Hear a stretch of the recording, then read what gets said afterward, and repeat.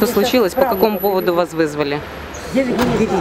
Пожар по адресу данного пожар был, да приехали. А уточните, какой адрес? Богдана Хмельницкого 3. А причина возгорания известна? Предположительно, возможно. Щит- Щиток загорелся, электрощиток загорелся. Э, В самом помещении, либо в подвале, где? Нет, э, в парадной. В парадной? Да, да. То есть это жилой дом, правильно я понимаю? Мгм. Э, На сейчас э, пожар устранен, причина возгорания локализован. Ну, Устранен, конечно, все нормально, пострадавших нету. Мы находимся на улице Богдана Хмельницкого, дом 3, возле магазина «Венеция». По предварительным данным, э, произошло возгорание в, по- в подвале, который, который находится под Венецией, под жилым домом. Мы совместными усилиями с с народным депутатом Украины Владимиром Солером и жильцами, которые находились во дворе дома, которые проживают здесь, моя теща здесь проживает, мы совместно ликвидировали источник возгорания. В последующем подключилась группа МЧС. Ребята сработали очень хорошо, профессионально. Они залили. И сейчас мы просто разбираемся с этим вопросом. Но проблема в чем? Э, Отключено водоснабжение, отключена электроэнергия. У людей э, находятся продукты питания. Мы хотели бы, чтобы власти своевременно среагировали и, соответственно, э, э, максимально короткие сроки устранили причины отсутствия водоснабжения и отсутствия электроснабжения.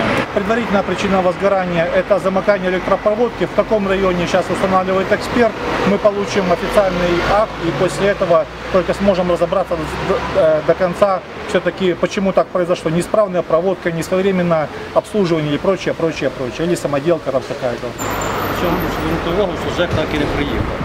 Ну, представители А водоканала не приехали, э, представители электросетей тоже не приехали, в принципе, хотя э, существовала реальная угроза.